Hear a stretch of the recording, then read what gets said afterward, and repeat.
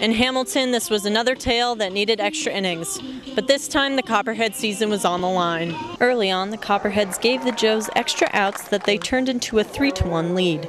Catcher Billy Cribbs talks about the early problems. Luis, is a good pitcher. He just a little struggle with command today, so I mean, he just got behind a little hitters and they got out to an early lead, so that's what kind of hurt us a little bit. The Snakes' break came thanks to mental errors by the Joes. Southern Ohio regained their comeback mentality and added seven runs in the fifth and sixth. Zach Botcher and Troy Fortin kept the Joes at bay to set the stage for power pitcher Zach Sterling.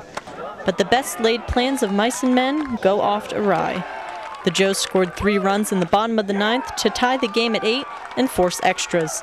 Sterling says how the Joes got under his snakeskin. Well, it's pretty easy, to be honest, as a hitter against me, because obviously I'm throwing fastball, but and they are a good fastball hitting team, so they just hit my pitches. So I tip my hat to them. That's all I can do.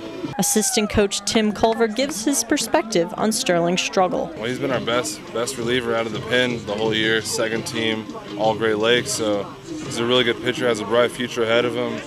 And that's what happens, you know, bumps in the road sometimes. You know, he'll just bounce back. Game three was not to be as a Kyle Weldon right field single sealed the Snakes' season for good. Coach Culver says where the tide turned. I think our guys really hit pretty well tonight. I think we put up, say, 13 hits, 13 hits with eight runs to win a ball game.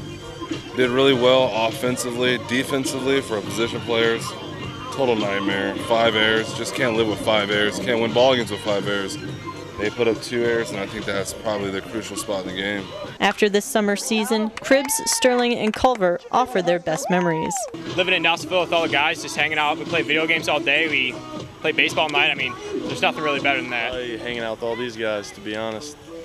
Greatest group of guys I've ever played summer ball with, so these guys were all we had. You know, on a positive note, you know, these guys, they got better. You know, I got to see a great second baseman like Ryan Jones that I never saw if I didn't come all the way out here from the West Coast. Despite an early ending, the Cheds had a successful season, winning 64% of their games to finish 27 and 15. Before my final sign off, I'd like to say thanks to all the players and coaches who contributed to interviews and all the fans and parents who've been a part of my videos. I couldn't have had a better time this summer. Reporting for the Copperheads, I'm Maddie Kuhn.